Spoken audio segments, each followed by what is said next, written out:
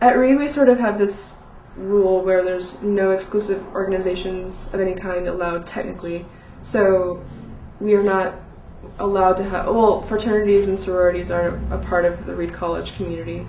Um, and that's not really something that the student body as a whole tends to really want. You know, I don't think that I would describe Reed College as a sort of sorority or fraternity school anyway. Um, I think maybe it's just one large exclusive organization in a way, um, which is which may or may not be a good thing. Um, and as far as clubs and organizations go, any student can start any sort of club or organization that they might want and apply for funding for it. And all the students vote on how they would want their the money, the student body money, allocated to the clubs and universities. So it's very much uh, student run and uh, student organized.